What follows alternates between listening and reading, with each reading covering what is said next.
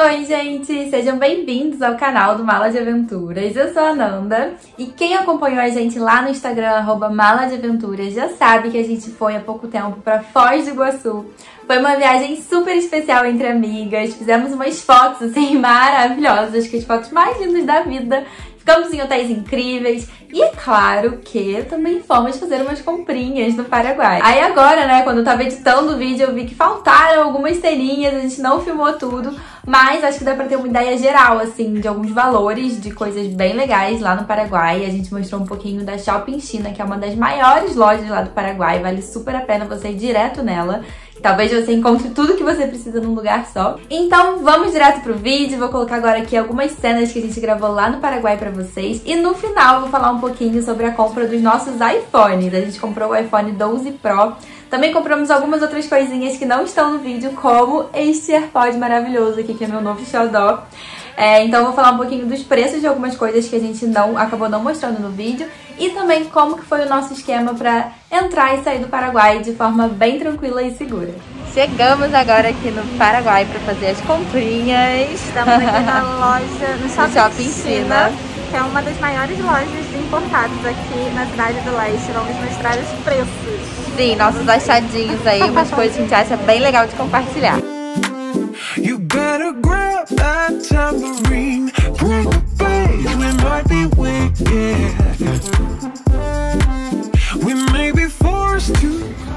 Donas de casa piram aqui com todos esses itens de cozinha. E eu tô precisando de um moedor de pimenta. Então, ó, o precinho tá bom, tá 15 dólares. Essa frigideira vai preço bom, hein? 15 dólares. Não sei que marca que é, mas parece bem boa. Gente, é legal que tem várias coisas importadas. E umas coisas que você não encontra muito, sabe? Tipo esse syrup do Hungry Jacks. Os pães de óleo vão pirar nisso aqui. Olha essa variedade. E essa caixa maravilhosa. Amei. Kit Kat também tem uma variedade surreal. Várias, várias, várias, várias embalagens. Mas, sinceramente, eu não tô achando os preços, assim, incríveis, não.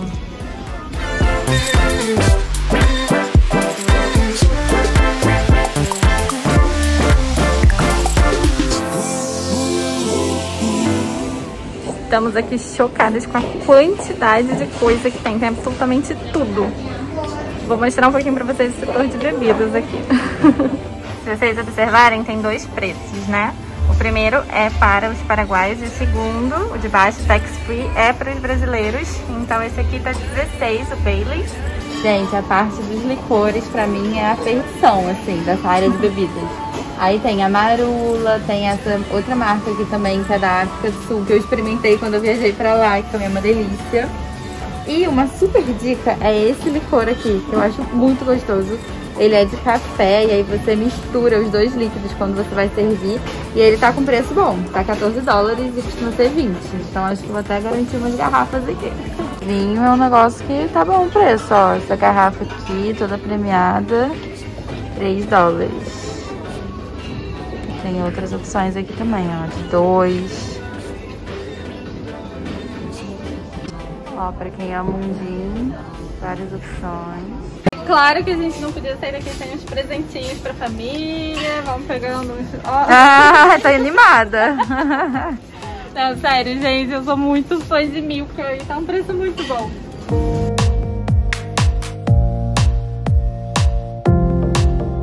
O Mavic Air 2, ele lançou ontem no mercado e já tá aqui preço, achei bem de boas. A GoPro, não sei se tá valendo a pena, eu vi uma promoção num site brasileiro e tava mais ou menos essa, assim, esse preço na conversão. A 6.600 tá 1.398 dólares. Eu e Nanda somos fãs dessa caixinha da JBL, ela é super prática, pequenininha, dá pra colocar na mochila assim quando vai fazer uma trilha e tudo mais.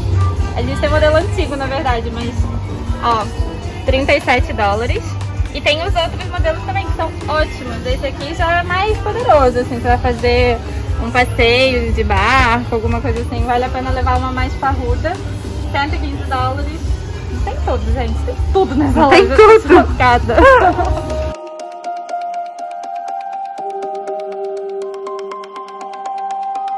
Gente, Estamos chegando na seção dos cosméticos, nos desejos sorte.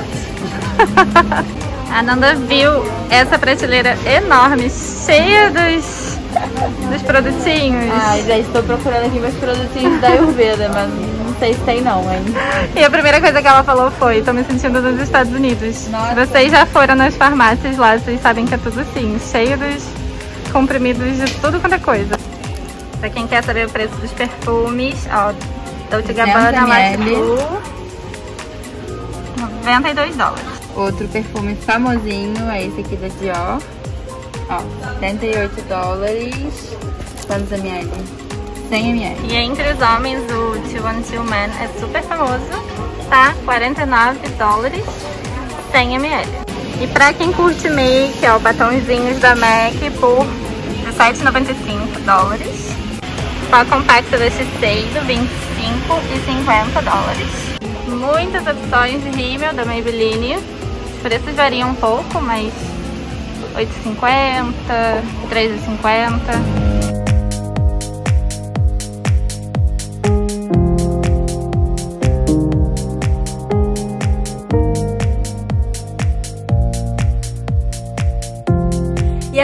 Vocês já viram aí um pouquinho do que a gente gravou lá no Shopping China, vou falar como que a gente fez para entrar e sair do Paraguai. A gente optou por contratar um guia, né, que nos buscou no nosso hotel em Foz, nos levou ao Paraguai. A gente adorou esse serviço, acho que é o que a gente recomenda mesmo, né, para quem não conhece muito bem, para quem vai pela primeira vez, assim você se sente mais seguro. É, outras formas de você entrar é com táxi, você pode contratar algum taxista para te levar. Mototáxi também, eu vi que tem alguns mototaxistas bem ali na, na divisa, né, na fronteira entre Brasil e Paraguai.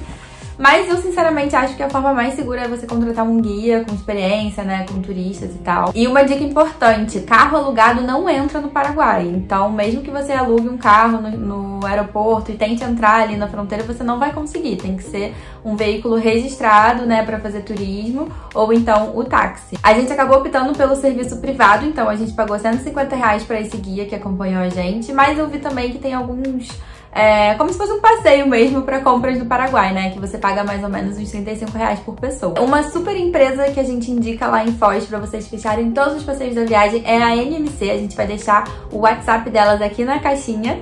É, então é só vocês clicarem lá direto no link que já joga vocês pra conversa no WhatsApp. E vocês podem organizar tudo direto com a MMC, uma empresa muito boa que a gente super recomenda. Bom, e uma super dica que eu dou pra quem vai com guia.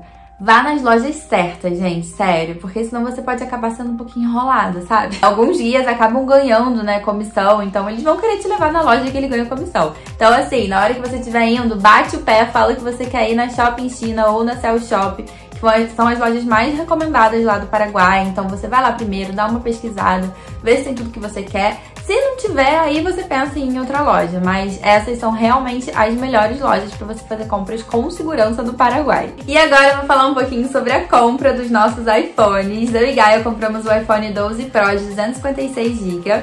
E ó, gente, valeu a pena sim. assim, não tá tão mais barato comprando aqui no Brasil ou comprando nos Estados Unidos, porque o dólar está altíssimo. A gente acabou pegando um dólar super alto, mas mesmo assim valeu a pena. É, a grande vantagem de comprar no Paraguai é que é tax free. Então, por exemplo, quando você compra lá nos Estados Unidos, é aquele valor que está no site da Apple, só que ainda tem a taxa da cidade que você tá. E essa taxa pode variar de 7 até 9% ou até mais em algumas cidades. Então o iPhone acaba saindo mais caro, né? No Paraguai foi um pouquinho a mais do que tá no site da Apple, mas valeu super a pena. E uma dica que eu dou pra vocês, leve o dinheiro em espécie, né, em dólar. Porque se você for passar no cartão, aí sim você vai ter que pagar uma taxa, porque você está fazendo uma transação dentro do Paraguai e eles cobram uma taxinha extra no cartão. Então, para você não ser enrolado, não passar perrengue, não ter chance de ter cartão clonado, né? Porque o Paraguai tem umas famas assim. É, sugiro que você pague em espécie mesmo. E outra dica para quem tá pensando em comprar celular lá no Paraguai é você não levar o seu celular. A gente deixou nosso celular em casa, pegamos avião, chegamos em Foz, tudo sem celular, gente. Foi uma loucura. Eu nunca tinha ficado tanto tempo sem celular é, a gente acaba até ficando um pouco inseguras, né? Porque, meu Deus, como é que eu vou falar com as pessoas e se tiver algum problema? Mas deu tudo certo. O nosso voo chegava meio-dia lá em Foz, então a gente combinou com um guia que levou a gente. Ele buscou a gente no hotel, assim que a gente chegou, já fomos direto no Paraguai para poder comprar o nosso celular, que era o que a gente mais queria comprar. E essa dica é boa porque, como vocês sabem, tem uma taxa por pessoa, né? Cada brasileiro pode comprar até 500 dólares no Paraguai sem taxa. A partir disso, você tem que declarar o valor. E aí, se você não declara, você tem a chance de ser multado. E aí, enfim, vai encarecendo mais, né? E no aeroporto de Foz, quando você entra no aeroporto de Foz, já tem um raio-x que todo mundo tem que colocar as bagagens lá. É, e eles, assim, na verdade, no aeroporto eles ficam mais procurando mais contrabando, né? Muitos produtos iguais, gente que leva muita coisa. É, então o celular acaba passando um pouco despercebido, é bem tranquilo, assim. Então a dica que eu dou é essa, se você não quiser passar perrengue aí na volta para casa, não quiser ser taxado, uma dica boa é essa, não leve seu celular, compre o celular no primeiro dia, assim que você chegar lá no Paraguai e resolvido. Mas assim, gente, é só uma dica, tá? Não tô falando que não vão pegar vocês só porque você tá com um celular só, não. É uma dica aí que pode ajudar para quem vai comprar pouquinha coisa lá no Paraguai. Bom, e como eu falei, outra coisa que a gente comprou que eu amei foi esse AirPod da Apple. Gente, tô usando muito, achei que não me adaptar, mas ele é realmente muito bom. Já virou meu microfone aqui de gravar vídeo pra vocês. É muito bom pra ouvir música, bateria dura pra caramba. E é isso, vocês viram que a gente comprou uns chocolatinhos, uns licores, fizemos a festa lá no Paraguai dentro do possível, né? Porque com esse nosso dólar caríssimo, tem certas coisas que é bom até fazer conta, né? Porque nem tudo vale a pena.